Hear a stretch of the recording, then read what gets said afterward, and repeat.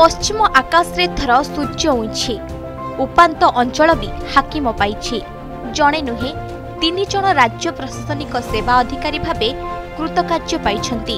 ସମୟ ସାକ୍ଷୀ ଅଛି ପଙ୍କରେ ପଦ୍ମ ଫୁଟେ। ଆଉ ଏ ସମୟ ସାକ୍ଷୀ ରହିଲା ଅଉନ୍ନୟ ବୋଲାଉଥିବା ଅଞ୍ଚଳର ଉନ୍ନତି ସେବା ପାଇଁ ସାରଥି ଯୋଗାଇଲା।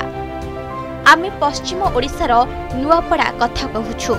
ଓଡ଼ିଶାର ଆର୍ଥିକ ମାନଚିତ୍ରରେ ଏ ଅଞ୍ଚଳଟିକୁ ଉନ୍ନତ ବୋଲି କୁହାଯାଇପାରିବ ନାହିଁ।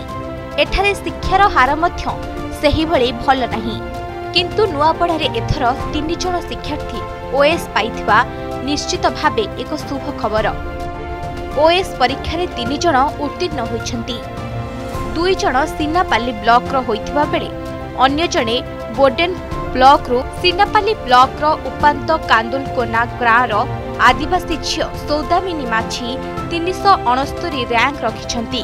ସେହିପରି ହାତୀପଡ଼ାର ହରେକୃଷ୍ଣ ମେହେର ତିନିଶହ ଅଠତିରିଶ ର୍ୟାଙ୍କ ଏବଂ ବୋର୍ଡେନ୍ର ପ୍ରାଚୁର୍ଯ୍ୟ କୁମାର ପ୍ରଧାନ ଦୁଇଶହ ବୟାନବେ ର୍ୟାଙ୍କରେ ଉତ୍ତୀର୍ଣ୍ଣ ହୋଇଛନ୍ତି। ଏମାନେ ସମସ୍ତେ ନୂଆପଡ଼ା ଜିଲ୍ଲା ପାଇଁ ଗୌରବ ଆଣିଥିବା ବେଳେ ଜିଲ୍ଲାବାସୀ ଶୁଭେଚ୍ଛା ଜଣାଇଛନ୍ତି। ସବୁଠାରୁ ଖାସ୍ କଥା ହେଉଛି ବୋର୍ଡେନ୍ର ପ୍ରାଚୁର୍ଯ୍ୟ ପ୍ରଧାନ ଜନ୍ମରୁ ଦୃଷ୍ଟିବାଧିତ ହୋଇଥିଲେ ବି ସେ ଏ ପରୀକ୍ଷାରେ ଉତ୍ତୀର୍ଣ୍ଣ ହୋଇଛନ୍ତି।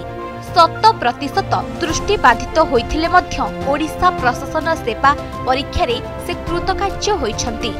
ସେ ଦୁଇଶହ ବୟାନବେ ର୍ୟାଙ୍କ ଆଣିଛନ୍ତି ଯାହା ଦୃଷ୍ଟିବାଧିତ ପିଲାମାନଙ୍କୁ ଖୁବ୍ ପ୍ରେରଣା ଯୋଗାଇଛି।